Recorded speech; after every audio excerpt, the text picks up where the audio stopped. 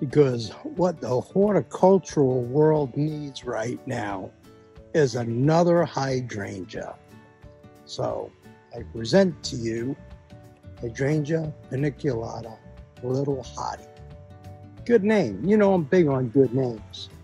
So it's a three by five plant with real rigid stems. It now is its time to bloom. so mid-August into September. Like limelight or little lime, the flowers start out green and then they become white. And then somebody had their little pen out and said, turn shades of antique white and antique pink. Not quite sure what that means. That was their description. But it's a real tough plant. All paniculatas are. Uh, it's not going to flop. Flowers are going to hold up well. Flowers are going to last a good while. Um, deer will nibble on them, I'm sure, as they do most hydrangeas.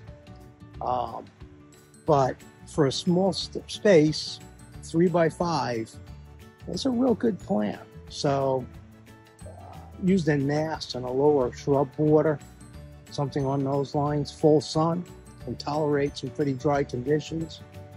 Um, so you want to be first on the little hottie train, by all means, do so. Hydrangea paniculata, little hottie, and uh, if you give me five minutes, I can come up with another new one for you.